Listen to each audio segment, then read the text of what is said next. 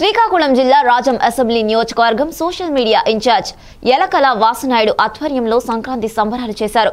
దివంగత నేత వైఎస్ రాజశేఖర్ రెడ్డి ఫోటోను పెట్టి పూజించి తన అభిమానాన్ని చాటుకున్నారు. నూతన వస్త్రాలను సమర్పించి అనంతరం బ్రాహ్మణులకు వస్త్రదానం చేశారు.